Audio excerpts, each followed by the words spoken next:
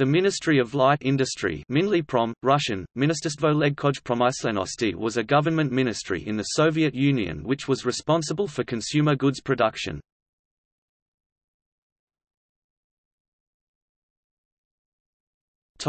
History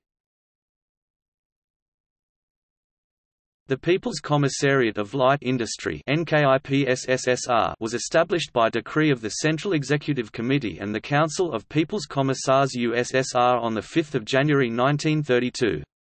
It was reorganized by the Stalin Constitution of 1936 into a Union Republic Commissariat.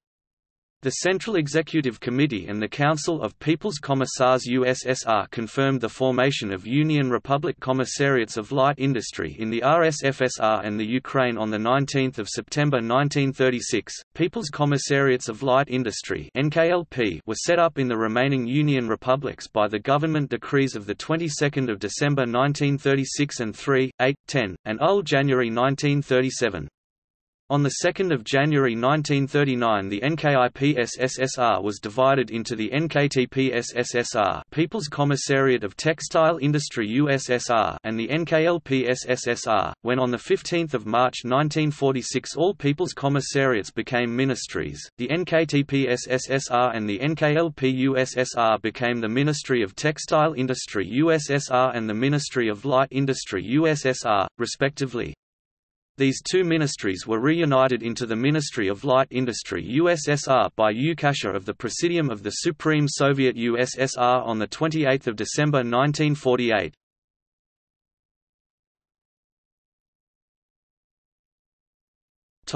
List of ministers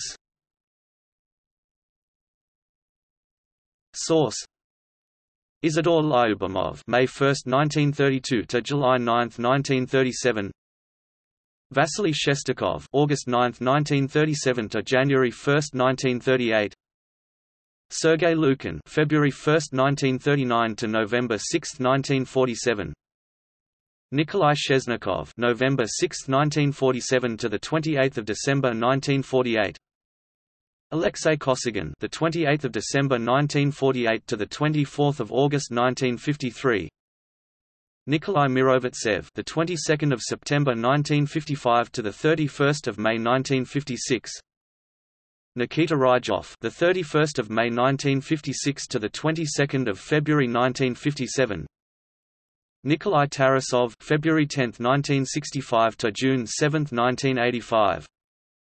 Vladimir Kliuyev, the 6th of July 1985, 14.4.